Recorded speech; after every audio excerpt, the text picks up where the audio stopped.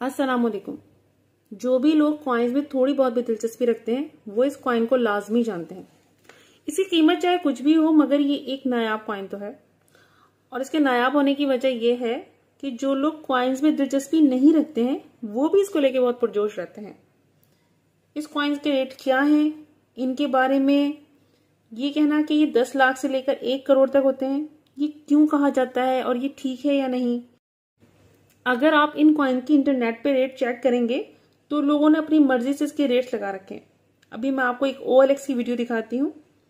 और ये देखिए आप, जैसे ही हम OLX पर कॉइन सर्च करते हैं तो देखें कि ये कॉइन जो है, ये देखें, यहाँ पर ये कॉइन शो हो रहा है।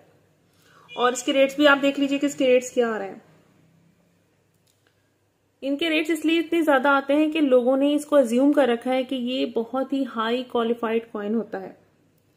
और अगर हम किसी को समझाने की कोशिश करते हैं कि इसकी मालियत इतनी ज़्यादा नहीं है और ये एक आम कॉमन कॉइन है, बल्कि कॉइन भी नहीं, एक टोकन है एक्चुअली तो वो ये कहते हैं, उनके पास ये जवाब होता है हमारे बात के जवाब में कि हमारे पास जो है ओरिजिनल कॉइन है और ये एक कॉपी कॉइन है क्योंकि इसकी वैल्यू जो है वो कम है या इसके प्राइस जो है वो कम है।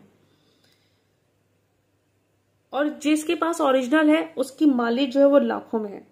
ये वो रुझान है जो रातों रात इंसान को दौलतमंद बनाने का ख्वाब दिखाता है।